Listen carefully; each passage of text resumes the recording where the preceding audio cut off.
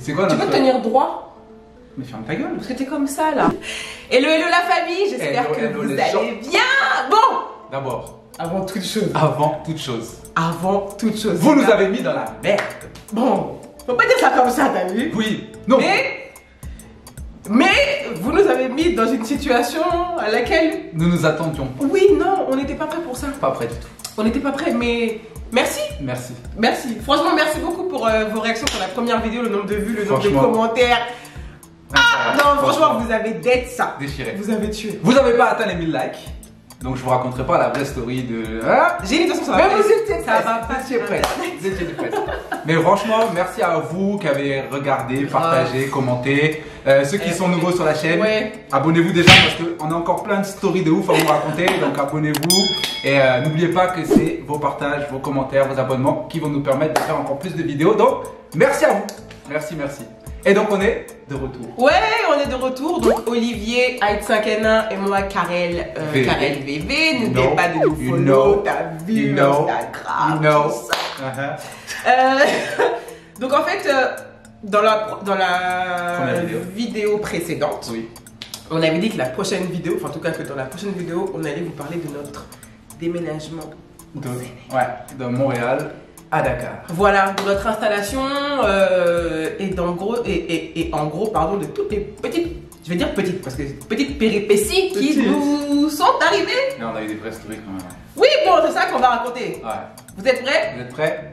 C'est parti. Let's go Alors, euh, comme euh, vous le savez peut-être, ou dans le cas où vous ne le savez pas, Olivier et moi on s'est rencontrés au Canada. Yes sir. Et aujourd'hui, on vit à Dakar, au Sénégal. Depuis 7 ans maintenant. Ouais, on est arrivé ici en 2012. Le et 15 août Le 2012. 16.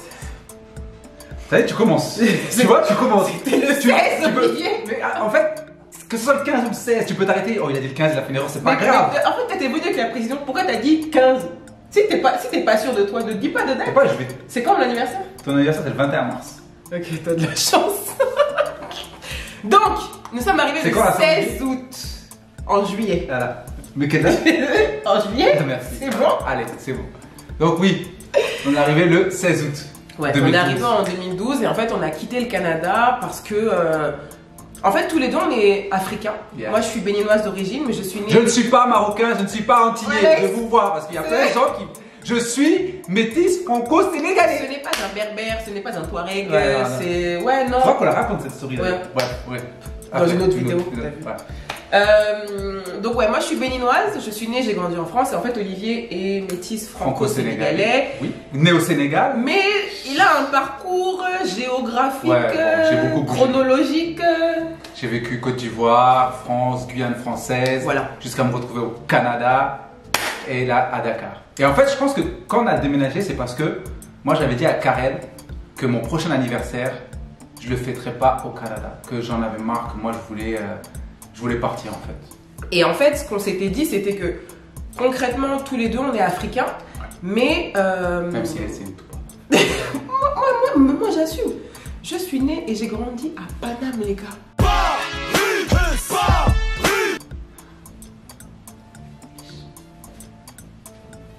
Bref, euh, donc en fait, tous les deux, on est des Africains, mais on n'a jamais vécu l'Afrique euh, dans le quotidien.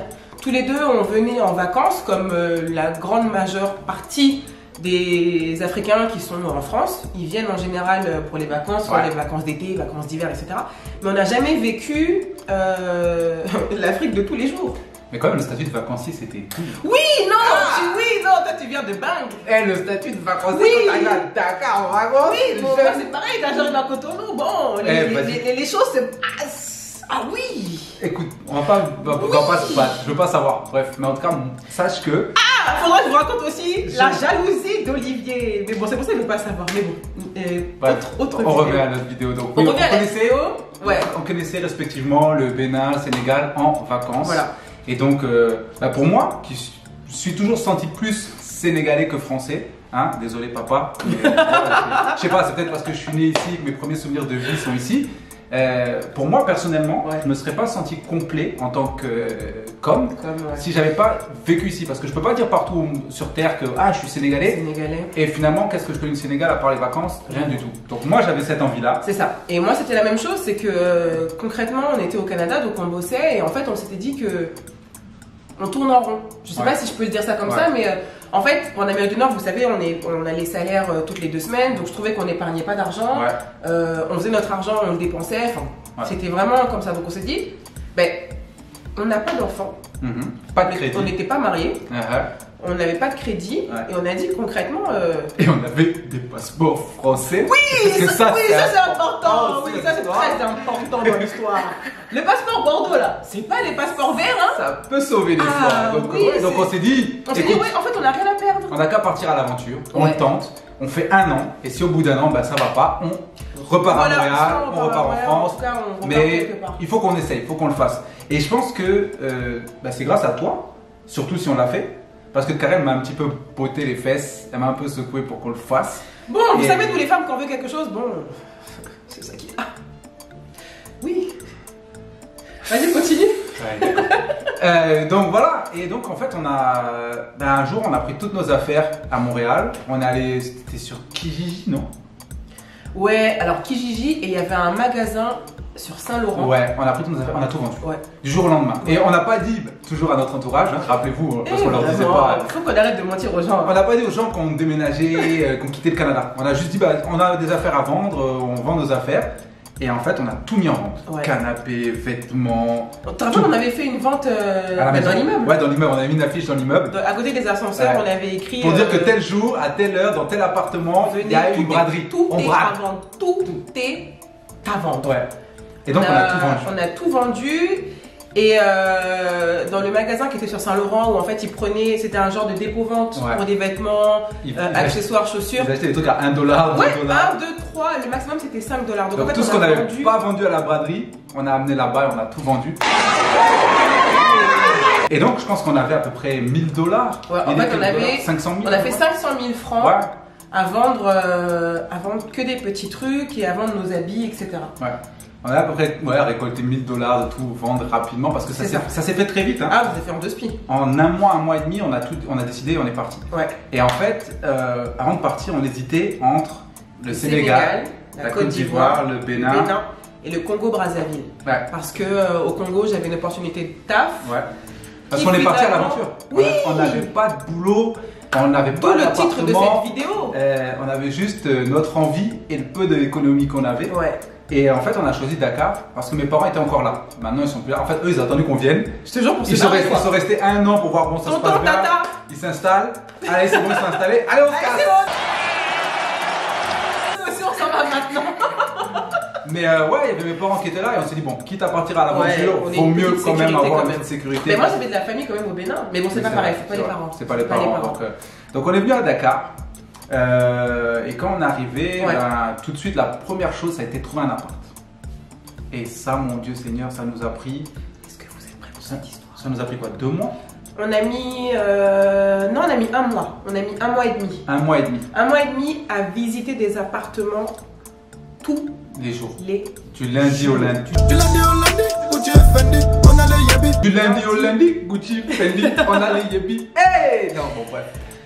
Du lundi au lundi, du matin au soir, on visitait des appartements. Et c'est en fait pendant cette période-là, parce qu'on a mis à peu près un mois à trouver Ouais, euh, un mois, un mois et demi. l'appart, que tout notre argent est parti.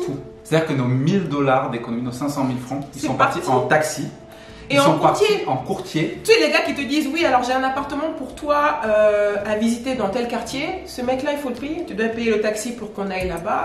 Tu dois le payer ouf. 1000 francs, 2000. Et c'est quand tu le donnes au début, tu dis Bon, allez, 1000 francs, c'est quoi? C'est 2 dollars, c'est 1,50€, c'est pas grave. Mais quand tu visites- donnes ça tous les jours. Ouais, tu visites 5-6 appartements par jour. Ah Donc, oui, disons, à la fin, c'était difficile. disons, tu donnes peut-être, allez, 5000 francs au, Ouais, au au courtier. Dans tes taxis, t'es par- t'es peut-être parti à 5 à 5, 50 francs. tu fais. T'as dépensé 10 000 francs dans ta journée, c'est 20 dollars. Ouais. Ça Pour va rien. vite, ça va vite pour Pour rien. trouver en plus des choses. tu- Et ça, c'est difficile. hein. Tu demandes à un gars, je veux un appartement au deuxième étage avec deux chambres. Il va te dire, oui, je, j'ai, j'ai, viens, viens, allons-y. Tu arrives devant l'immeuble, il te présente un rez-de-chaussée avec une chambre. Une chambre. Non, mais je crois, crois le pire. Moi, mon- Ouais. mon, mon pire souvenir, un jour, on est parti voir un appartement. On monte, ouais. on monte et le gars, la première pièce où on rentre, c'est-à-dire qu'on rentre dans l'appartement, il y a une porte à gauche. non. La première pièce où on rentre, c'est On la n'était toilette. pas prêts. Et on rentre dans la toilette. Et en fait, la toilette, j'ai. Comment vous expliquer En fait, tu sais, quand tu rentres dans une toilette, la toilette, elle est en face de toi. Tu vois, normalement. Oui, ou au pire, elle peut être sur le côté, mais Oui. si l'espace est assez grand. Voilà, si l'espace assez bien sur le côté, mais en tout cas, à un moment, la toilette, quand vous regardez yeux dans yeux, Ouais, voilà, vous savez Vous avez un. il se passe quelque Il va se chose. passer un truc entre une relation, voilà. Et là, la toilette, en fait, tu pouvais pas te mettre en face. C'est-à-dire que le bord de la toilette, il touchait le mur. Voilà, il y avait les deux murs et il y avait la toilette qui était comme ça. Et donc, cuvette. Si t'es un garçon, si tu veux aller aux toilettes, t'es obligé de te mettre sur les côtés, sur les técos. Mais Ou bien- quand tu veux t'asseoir, tu es obligé d'enjamber la toilette, Voilà. t'asseoir et puis écarter tes jambes parce que sinon tu touches le mur. Donc tu es en position de sumo, tu vois les sumo.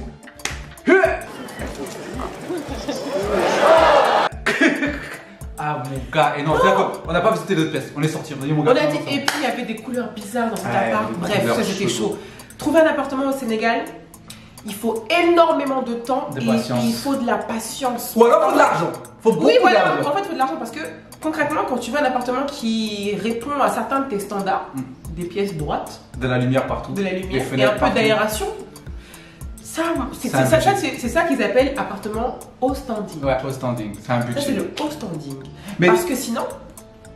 Oui, tu voulais dire un truc? Mais des fois, on a vu des trucs aussi. Par exemple, tu te rappelles, on avait vu un appartement qui était hyper grand et vous nous, les- ils voulaient Il nous le louer pas à cher, rien du tout. à rien du tout. Et franchement, ça, c'est un des appartements, je pense, qu'on regrette le plus. On regrette de ouf. Parce qu'on venait d'arriver, on avait aucune affaire. Là, bon, là, on est là depuis 7 ans, on a des petits meubles, tout ça. Ouais. Mais quand on est arrivé, on n'avait vraiment rien. Zéro. Et on n'avait pas d'argent. Donc, c'est pas comme si on avait dit, OK, on va aller dans un magasin euh, pour commencer à meubler. Parce que ça aussi, c'est- un budget.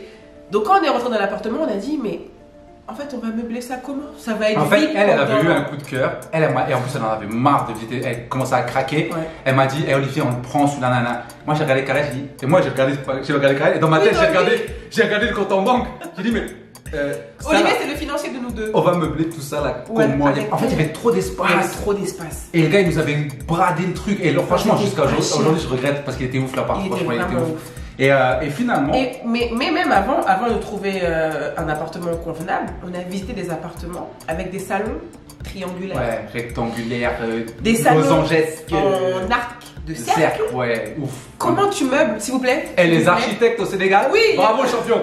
En 2020, ne change rien. Ne changez rien. Ne change rien. Et, euh, et donc oui, en fait, la question c'était comment tu fais pour meubler un appartement comme ça? Ouais. Comment tu fais pour, pour, euh, pour le rendre joli, pour acheter des jolies pièces? Est-ce que ça existe des canapés rectangulaires forme Oui, ouais, ça forme- existe. Oui, ça mais existe, mais ça aussi c'est un budget. C'est un budget. Et c'est spécial. Ouais. Et, Mais bon, bref. et donc finalement, on a Ouais. trouvé par chance, hein, Ouais, parce qu'à la base, c'est pas ça qu'on cherchait. parce qu'en fait, c'est une amie à nous, Mariama, Non, Marie. Marie, hein, qui nous a dit un jour, ben, il y a une agence, vous devriez les contacter. Ouais. Ça, on a contacté l'agence, ils nous ont amené visiter des apparts. Et euh, l'appart qu'ils nous ont fait visiter, ça ne nous a pas plu, c'était, ça ne nous intéressait pas. Et à un moment, la dame, elle nous dit, euh, mais bon, vous êtes ouais, deux. mais j'ai, peut-être quelque chose j'ai peut-être un truc, ouais. tout en haut, quatrième. non, on est d'abord dans un autre euh, immeuble. Et après, elle a dit, mais il y a un autre immeuble pas loin, on a des appartements. C'est vrai, c'est vrai, c'est vrai. Et euh, elle nous a amené, et elle nous a dit, ouais, mais j'ai un truc, c'est au quatrième, mais il n'y a qu'une seule chambre. Mais d'abord, on a visité le deuxième. Hein. Ouais, On a visité le deuxième, ça nous avait pas plu du tout. Et elle a dit, bon, ben, vous êtes deux, euh, est-ce que ça vous dérange d'avoir juste une chambre d'abord Ouais, Et donc, on est monté au quatrième et c'était un studio. Mais il était. magnifique. Un petit studio avec une terrasse C'était même pas immense. petit en fait. Franchement, quand Ouais, on avait regarde, salon, cuisine, une chambre, une salle chambre, de bain. il y avait un long couloir et on avait une bête de terrasse. Ah, ouais, terrasse, Oh on voyait l'océan tous les matins, tout ça. là, là. Ah non, propre. non, magnifique. propre, propre, on a propre. fait trois ans dedans. On a fait trois ans dedans et après on a déménagé parce qu'on voulait plus Ouais, grand, tout ouais. simplement. Et aussi, on avait une galère, c'était que les gens nous demandaient si on était mariés. Tu te rappelles? Mais oui Vous savez qu'au Sénégal, et je pense que c'est comme ça dans, je pense, beaucoup de pays musulmans, Musulmans, ouais, je pense. aussi. euh, quand nous on visitait, on visitait des appartements, les agences nous demandaient est-ce que vous êtes mariés? Parce qu'on n'était pas encore On mariés. n'était pas encore mariés, vous savez On s'est mariés trois ans après. On s'est mariés en 2013, 14. c'est marrant, non, c'est marrant en 2013. On a fait deux mariages, mais ça aussi je vais rencontrer dans une prochaine vidéo. Mais on a fait deux mariages, un en 2013 Ouais, et ça on va vous raconter dans une prochaine vidéo parce que il y a notre mariage musulman et le mariage catholique qu'on a fait et elle, bref, bref, attendez, Bref, donc attendez, on a fait un mariage là, 2013. va falloir l'attaquer, bref. 2013 et 2014. Je me- J'ai dit 2013, 2014, ça va. Bref, Donc quand on est arrivé en 2012, on n'était pas encore mariés. Et du coup, quand les agences nous demandaient si on était mariés, d'abord on disait non. Non, Dans, on toute notre, dans toute notre innocence. Ouais. Et quand ils nous ont dit oui, non, finalement non, pour l'appartement, on a dit ah, donc le mariage ça compte autant. Oui, oui, oui, Oui, on, on est mariés depuis. Ah oui, oui, oui, vous voyez, on, est- on s'aime. On est mariés, on visitait les appartements comme ça. Eh ben, eh tu sais, ça m'a pensé. Tu te rappelles une fois, on était dans la rue, eh, Karel, elle me tenait dans la rue, et on est arrivé à Dakar, donc non. on n'était pas encore habitués. Non, vraiment, Dakar, c'est chaud. Et il y a un mec qui passe à côté de nous, et puis il s'arrête pas, il passe, il fait. On fait pas ça au Sénégal. Et puis il s'en va comme ça. Et nous, on l'a regardé, on dit, mais. Ah Voilà, et lui, il avait pas de go. Il avait le seum. Je pense qu'il avait le seum. de voir qu'il faisait un câlin. laissé, je sais Je sais pas. Ah, mais il était rageux. Il est passé en bas, t'as dit, On fait pas ça au Sénégal. Ah, je pense qu'il avait le seum. Ouais. Il avait le seum. Mais après, ce qui a été, euh, non, dans notre adaptation, en fait, déjà, ben, merci beaucoup à mes parents, à notre go Kémy. Kémy, ouais, parce que bon, Eh. tu nous as beaucoup aidé. Hein. Comme on avait pas- Tu t'en rappelles pas, mais tu nous as beaucoup Ouais. aidé. On n'avait pas beaucoup d'économies, donc ils nous ont prêté de l'argent. Ouais. Et ils nous ont dit, allez-y, nanana. On est tombé sur. euh, ben, quand on a trouvé l'appart, on est tombé sur une super affaire. Une dame qui venait d'acheter tous ses meubles tout neufs. Toute Et la, tout, c'était tout le salon, Ouais. la chambre euh, parents Ouais. et la chambre de ses enfants. Tout était neuf et la dame en fait elle venait de- genre un mois Elle, après pauvre, son mari a été muté ailleurs et ils ont dû déménager se barrer. En fait, l'hi- l'histoire, pour, pour dire brièvement, elle, elle était restée, je pense, au Sénégal 6 ans. Elle était dans, dans les appartements meublés. Et en fait, elle s'était dit concrètement. Quoi? Donc c'est ça brièvement. Moi c'était pas plus bref que Non, ce mais que c'est parce qu'il faut qu'on raconte aux gens. Non mais attends, moi c'était pas plus bref ce que je viens de dire là. Mais non, mais. Bref, non vas-y. Non, c'est bon, vas-y, il veut pas que je Parce qu'elle a dit brièvement mais elle fait une longue story. Moi, Non, moi c'était Oui, bref. oui, non, si c'est moi qui devais raconter l'histoire, pas brièvement, tu sais très bien comment que la vidéo elle allait durer 45 Oui minutes. c'est vrai. Désolé. Bref, on a eu une super occasion parce qu'elle elle partait. Ouais. Et, Donc on a euh, acheté et elle a dû des brader. meubles Elle a dû brader. neufs. À, on a acheté à 50% à, du Même- prix, même, moins. Même moins, je pense. Donc on a eu notre salon, on a eu notre la lit. chambre. Euh, Euh, ouais c'est ça. Ouais, et puis d'autres d'autres accessoires. Meubles télé, tout ça. nan. C'est ça. Franchement on a eu Pour vraiment Pour pas beaucoup. Que. Vraiment pas beaucoup. Et euh, ouais, et, Et- donc après, on est arrivé, donc euh, quand on a trouvé l'appart, Karel tout de suite, elle a trouvé Il du fallait boulot. trouver du travail. Elle a trouvé du Parce qu'en fait, en quittant le Canada, on n'avait pas de taf. Ouais. Moi, j'avais une. euh, je peux si je peux pas dire une promesse d'embauche parce que c'était pas une promesse. Mais euh, j'étais venue faire des, entretiens. Ouais. Euh, la personne m'avait dit franchement, parce que je suis journaliste de formation, donc c'était pour présenter, pour présenter une émission. Oui, je me la raconte. Ah, S'il s'il vous plaît, je suis journaliste. Ouais, d'accord. Bref, donc euh, j'étais venue, j'avais passé tous les trucs, la meuf elle m'avait dit oui non nickel, propre. Euh, donc je suis repartie à, à- à Montréal, je suis revenue. Et en fait, on n'avait pas parlé de budget, on n'avait pas parlé de salaire, et ça c'est quelque chose qui est un peu chaud, on n'avait pas parlé. Mhm. Et elle s'est dit automatiquement, comme je viens du Canada, que j'ai une formation étrangère, j'allais demander Beaucoup, beaucoup d'argent. Beaucoup. Alors que pas du tout, le premier taf que j'ai eu ici. Voilà, nous on voulait juste du taf. nous. Ouais, oui, ça, moi je voulais juste ait de l'argent qui rentre. C'est tout en fait. Et 50 000 par mois, 100 000 par Rentrez et que l'argent rentre. 50 000 dire Non, En tout cas, on voulait pas beaucoup. Et effectivement, moi, je sais que le premier taf que j'ai eu, enfin, dans le deuxième, parce que je reviens sur le premier taf dans quelques secondes, le deuxième, j'étais payé même pas 150 000. Ouais. En tout Non, cas, j'étais- j'étais payé 190 000 et je pense que j'étais payé la plus, enfin, celle qui avait le salaire le plus élevé dans, dans mon équipe. Alors qu'il y avait des gens qui étaient là là depuis 20 ans. Ouais. Je suis resté 3 mois et je me suis barré parce que j'en fais quoi avec 190 000 tu vois. Bon, bref. Euh, donc, effectivement, j'étais venue, donc il y avait promesse d'embauche qui finalement n'a pas abouti. Euh, et Après, t'as trouvé un travail rapidement. ouais, j'ai trouvé un travail Sauf rapidement. que elle a fait deux mois Deux mois et elle a pas reçu son salaire pendant Voilà. deux mois. Mais Tu sais, tu sais, quand tu travailles, que tu vas au travail tous les jours, tu sais que c'est pour ton salaire. ouais. Mais qu'à la fin du mois, on te dit Oh, Je te donne pas ton salaire. Toi, tu es là, mais en fait, comment ça Nigga. C'est d'où je viens, moi C'est qui je suis, moi Ça, c'est à moi que tu parles là Oh, oh, oh, oh, oh, c'est à moi que tu parles Et non, finalement, non. Mais ça servait à rien parce qu'en fait, on n'a rien eu. Mais, son responsable a été très, Ouais, il a été très, super très, honnête très, et, très euh, honnête et il a dit écoute, euh, on n'a pas le salaire, Ouais, mais moi je peux pas te croiser dans la rue tous les jours, ça change pas de l'argent, donc j'ai une télé euh, Samsung toute neuve, grand écran, Bref, il m'a payé en nature. je te la donne et parce que c'est la valeur de- du salaire qu'on te doit. Et après, euh, bah, toi donc t'as retrouvé un deuxième boulot. Après, j'ai trouvé un autre taf euh, à la radio. Ouais, moi j'ai trouvé du boulot aussi, Aussi. pareil. Ouais. Et c'est comme ça qu'on a. Et Commencé à Dakar. Et sept ans ici. plus tard, on est toujours là. Je te jure. Rappelez-vous, hein, au début de la, vidéo, de la vidéo, on a dit Un an. on fait un an, on essaye. Ouais, 7 ans plus Et tard. là, ouais. ça fait 7 ans et demi qu'on est là, calé. et qu'en fait on n'est pas prêt de partir. Quoique bon, s'il y a une petite opportunité à Abidjan, bon. Abidjan, ouais, là. Oui, mais toi, toi vous c'est Abidjan. Ouais, moi je kiffe pas Abidjan. Voilà, je kiffe pas Abidjan, c'est fou, mais bon. Mais non, Dakar, ça, Dakar, Dakar, ça pète. Ouais. Et honnêtement, depuis qu'on est arrivé, et ça c'est une question qu'on a euh, très souvent, euh, c'est est-ce qu'on regrette euh, Est-ce qu'il y a des choses qui nous manquent?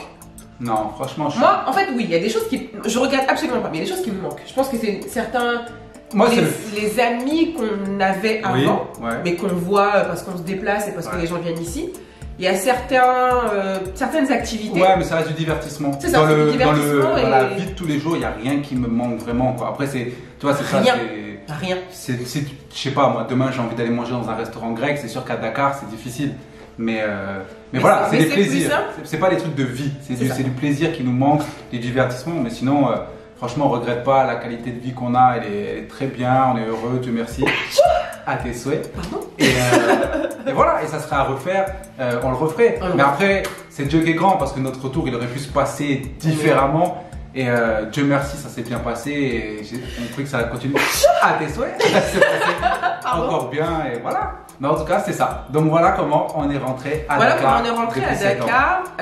Enfin, on dit rentré. Comment moi je suis venue m'installer au Sénégal Le téléphone. Coupure, le téléphone sonne. Désolé pour la coupure. Oui, désolé pour ce petit, cette petite interruption. Sorry. Les aléas du direct. Mais, mais je pense qu'on a tout dit. Ouais, je pense qu'on a bien résumé Vous- euh, vous notre retour. Euh, comme Olivier le disait, effectivement, nous, notre retour, il a été très bien. Bien Ouais. évidemment, on a eu des moments de, de haut et des moments de bas. Ouais, mais c'est une belle Euh, expérience. Jusqu'à présent, c'est une belle expérience. Ouais. Exactement. Donc, euh, toutes les personnes qui décident ou qui veulent ou qui rêvent de, de le faire, Tenter l'aventure. de tenter l'aventure, euh, chaque expérience est différente. Ouais. Euh, C'est pas parce que nous, pour l'instant, Oui, ça s'est bien passé que si toi, derrière ton écran, tu, tu veux viens, le faire, bon, pas on la te même garantit chose. pas que ça va être pareil. Hein, mais bon. Mais en fait, c'est ça, il faut venir. Je pense que on n'aurait pas dû faire, mais ce, qui aurait pu être fait si ça n'avait pas bien marché, c'était de venir d'abord, Mhm. voir un peu comment ça se passe, Mhm. euh, et, ensuite, euh, et ensuite venir avec la famille. Et, je pense que nous, notre avantage, c'est qu'on était seuls, Ouais, c'est qu'on était Qu'on était et que- jeunes. Ouais, voilà, c'est ça. qu'on ne devait rien à personne, si ça. ce n'est à nos parents, t'as vu. Ouais, et puis voilà, comme on l'a dit, si ça se passait mal, on repartait et on allait Exactement. faire autre chose. Mais bon, Dieu merci, on est là et on compte bien rester là pour le moment. Donc en tout cas, voilà comment on est rentré à Dakar. vous savez tout. N'oubliez pas, si vous avez des questions, si vous avez des commentaires par rapport à cette vidéo, mettez-les en bas. N'oubliez pas de liker la vidéo, de la partager. Et ceux qui sont pas abonnés, Oui, abonnez-vous à la chaîne. Abonnez-vous à la chaîne. Je sais pas si ça va être de ce côté-là, la, la cloche, ou ici. non, ça sera au milieu. Tu vois, ici par là. Voilà. Bon, bref, en tout Mais cas, non. vous la verrez et vous la verrez. Donc voilà, inscrivez-vous et merci Aïe beaucoup. 5 N1, Karel VV, Instagram, n'oubliez pas. n'oubliez pas. Gros ça. bisous la famille. Et à très vite pour une vidéo. Ciao, ciao